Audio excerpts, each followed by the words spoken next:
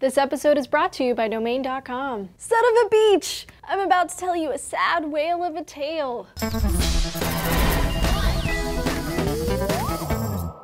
Hey everyone, Julia here for D News. Recently, over 200 whales washed up on a beach in New Zealand. They face injury and death from dehydration. Unfortunately, almost 20 died, and the rescuers have to wait until high tide to try again to rescue the rest. So, why does this happen?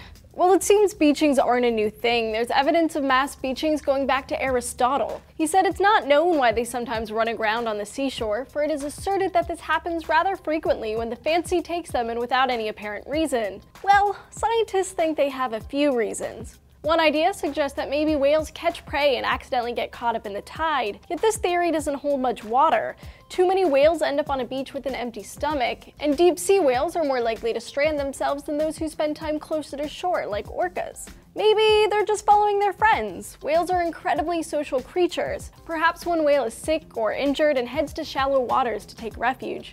Perhaps the tide comes in and the whale winds up on a beach. The other animals hear its distress calls and come to the rescue, but they get stranded themselves. Another reason for beachings might be toxic algae. A study published in the Proceedings of the Royal Society B found repeated ancient beachings dating 6 to 9 million years ago. To explain the repeated nature of the event, they looked to a current explanation toxic algae blooms called red tides. This contributed to their death and washing up of humpback whales on the coast of Cape Cod in the 80s. Another idea of repeated stranding spots links the coastline to the deaths. Researchers from the University of Western Australia think whales' echolocation can't see gentle sloping shores, and sometimes rough winds or surf scramble the echolocation too.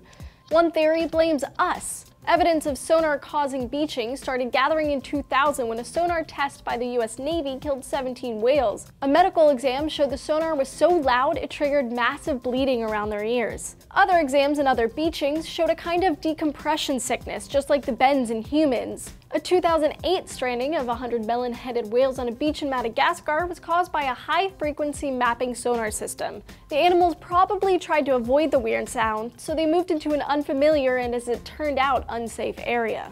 Whale, whale, whale, why don't you check out this video over here on how algae kills whales. But before you do, leave a comment down below. Don't forget to hit those like and subscribe buttons and keep coming back for new episodes every day of the week.